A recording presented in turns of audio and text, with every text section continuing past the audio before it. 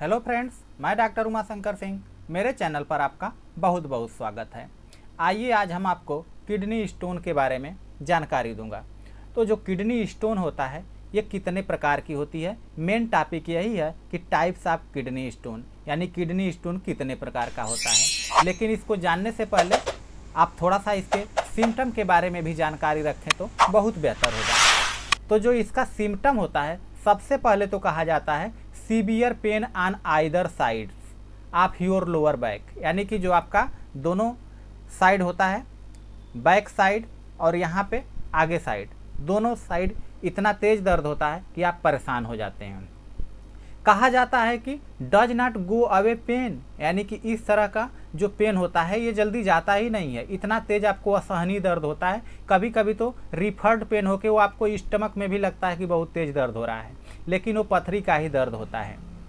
Blood in urine, इसके साथ साथ कभी कभी देखा जाता है कि जो आपका यूरिन में ब्लड आना होता है, वो भी दिखाई देते हैं और उसके साथ साथ नाजिया एंड वोमिटिंग भी होता है, यानी कि उल्टी और जी मिचलाना होता है, उसके साथ साथ कुछ लोगों में फीवर आ जाता है। फीवर के साथ साथ ठंडक लगता है लगता है कि शरीर में ठंडक सी लग रही है, इस तरह के भी सिम्टम आते हैं।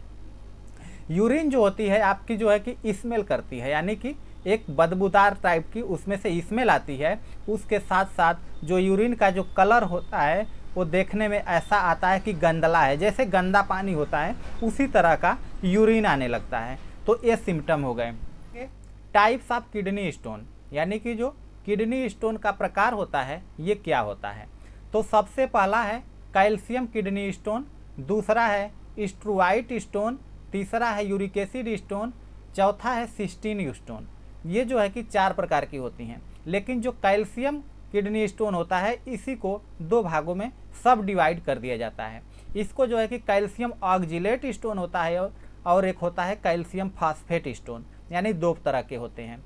तो जो कैल्शियम किडनी स्टोन होता है, ये 80 परसेंट लोगों में पाया जाता है। यानी कि 80 परसेंट लोगों में किडनी स्टोन पाया जाता है, जो कि कैल्शियम स्टोन ही होता है। इसमें दोनों होता है, कैल्शियम ऑक्जिलेट 38 परसेंट लोगों में पाया जाता है। और जो फास्फेट होता है, यानी कैल्शियम फास्फेट, किडनी स्टोन, ये जो है कि 40 परसेंट के आसपास पाया जाता है 40 या 41 परसेंट के आसपास।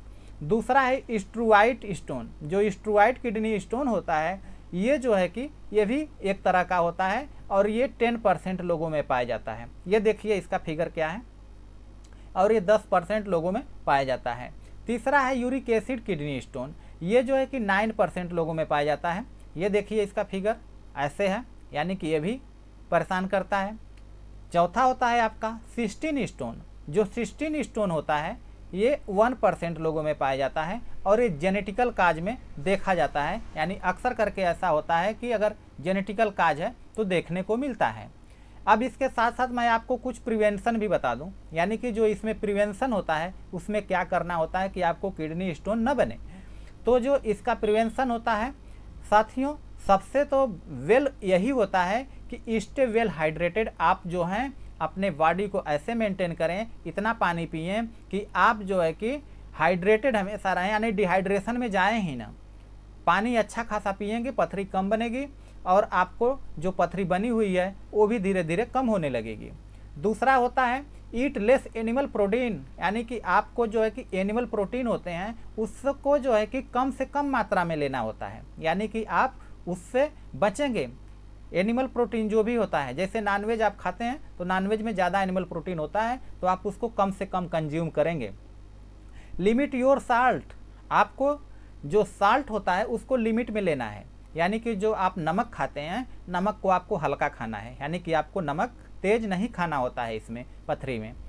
आपको गेट एनफ डाइट्री कैल्शियम अक्सर करके देखते होंगे डॉक्टर कैल्शियम देते हैं, लेकिन कब देते हैं? जब लगता है उनको कि आपके शरीर में कैल्शियम की कमी हो गई है। जैसे ऑस्टियोपोरोसिस भी हो जाता है ऑस्टियोपीनिया हो जाती है, इस तरह की कंडीशन में डॉक्टर्स कैल्शियम देते हैं, जिससे कि आपको कमर में दर्द और पैरों में दर्द, हड्डियों में दर्द, ऐसे होने लगता है तो डॉक्टर्स दे देते हैं। लेकिन आपको वो अपने हिसाब से देते हैं और उसको फिर बंद कर देते हैं। ऐसा नहीं है कि आप लगातार लेते रहें। तो आपको कैल्शियम की मात्रा भी एक, कहें तो एक लिमिट में ही लेना है। उसके बाद इट, फ्यूअर फ़ूड, आपको जो फ़ूड लेना है, उसमें जो है कि जो फ़ूड लेते हैं, उसमें जो आगजिलेट होता है, अगर जिस फ़ूड में आगजिलेट ज़्यादा है, उसको आपको कम से कम लेना होता है। तो आप इसको जो है कि आप बर्ताव करेंगे तो आपको बहुत बेहतर रिस्पांस मिलेगा। लेकिन ये हो गया आपका प्रिवेंशन यानी बचने से क्या आप किस किस चीज़ से बचेंगे तो वो आपको मैं अगली वीडियो में सजेशन करूँगा।